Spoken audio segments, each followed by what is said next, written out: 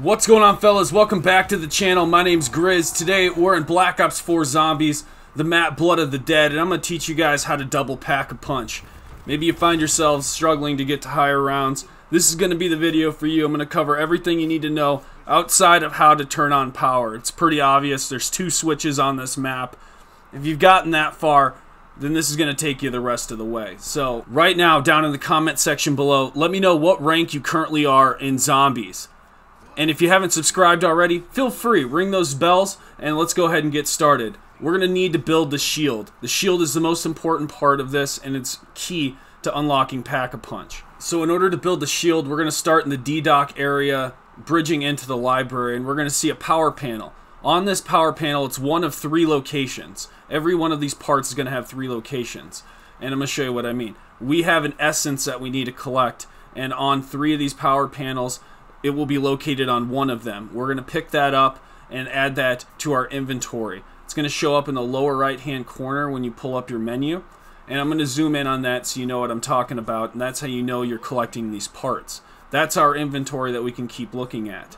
So just note that. And the third location for this essence part, which is part number one, is going to be right here. At the end of the hallway on this power box in Michigan Avenue, you'll find the third location. Now, the second part is going to be the cover to the shield. And the first location for this is in the Citadel tunnels, right in this open area, this archway, next to the window at the very bottom. You can collect it there, and then as we go up the stairs, we'll go to our second location here for if in case it's not there. But as we make our way up along the second set of metal panels, it'll be laying right here. And at the very top of the Citadel tunnels is where we'll find the third location for this cover for the shield. And it's always going to be in these three locations. And, and, in case it's not there, just keep checking the other spots and you'll eventually come across it. But right here at the top is the third location for the cover part of the shield.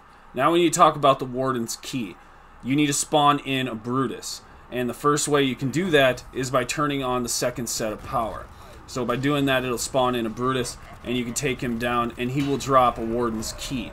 This key you'll be able to pick up, and it'll be the third part that'll allow you to build the shield. I want to make a side note here in the video. Something I did notice as I'm playing in custom mutations and in classic mode. It seems like there's a lot of hellhounds, and the rate at which they come at you sometimes is quite detrimental to your health. I don't know if we'll be seeing a nerf. Definitely not a buff coming up for that, but this is how you get the Warden's Key. This key does unlock other things in the map that are going to be involved with other Easter eggs, so more to come on that. But as we enter the dock area, right outside of here is where we can build the shield. So we're going to go ahead and do that, because we're going to need to pick up one, and it's going to be used to unlock Pack-a-Punch. Now I'm going to show you how to do this. There's a little bit of a trick to it, but it's not that complicated. Pulling out your shield is your L1. It's not listed on your HUD. I assume they think that would be confusing, but that's how you do it. And when you actually shoot with the R trigger, it pulls out the key and it's trying to collect a soul.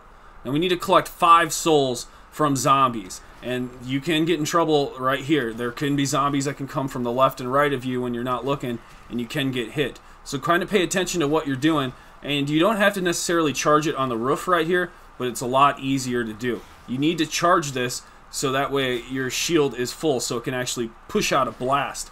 But once you've got five souls and you know you have five souls collected, you're ready for the blast. What you got to do is come up to this power panel and perform a blast. If you don't get this right away, you will have to charge up another five souls, but you perform a blast on this power panel, and you only have to do this once, and then you have Pack-a-Punch unlocked. Pack-a-Punch does move. Does, there's one other location that it does go. I'm going to show you that location, but you only have to perform this one time with your shield to actually unlock it. Then you're good to go. You can double pack a punch as much as you want. Where the other power panel location is, that's where pack a punch does go. So let's talk about double pack a punch now. There's four module effects. Some are returning, and there is one new one. But I want to take a look at some gameplay here, show you guys hard gameplay of all of them, and we'll decide right after this little bit of gameplay which one is the best. And you too can let me know down in the comments section, along with what your current rank is in Black Ops 4 Zombies, which effect do you like the most? Let's go ahead and check out the gameplay.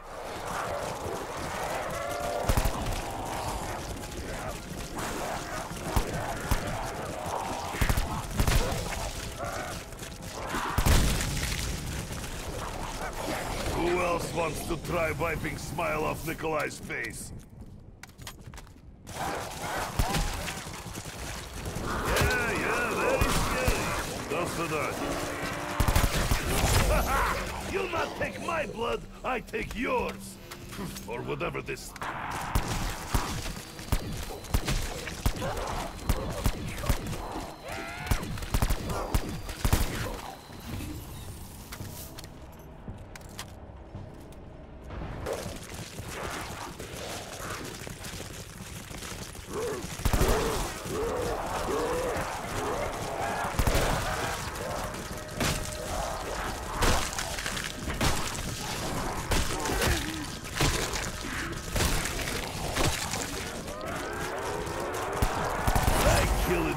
Pigs to open butch...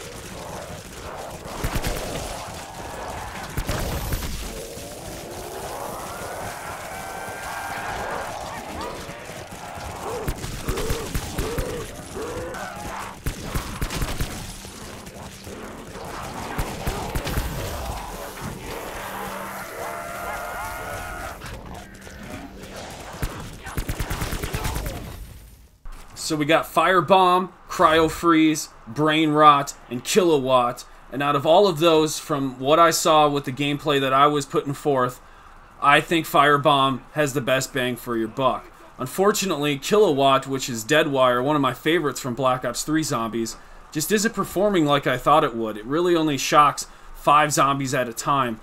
And, and it does kill a mass crowd, but you can't activate it as frequently as I wanted. So I do feel that the mass amount of damage that you can output comes from Firebomb. And that's going to be the double pack a punch I rock on 90% of all my weapons moving forward here in Black Ops 4 Zombies. Let me know what you guys thought of this and your current rank down in the comment section below. And I'll see you guys in the next video. Viollent out!